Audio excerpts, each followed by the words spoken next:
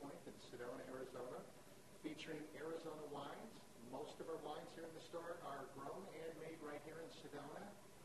Sedona was recently picked by the Wall Street Journal as the next up-and-coming Napa, and uh, they even said that the red wines coming out of northern Arizona rival and surpass anything currently coming out of California.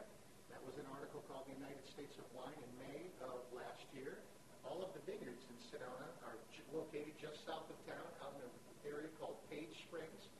It's just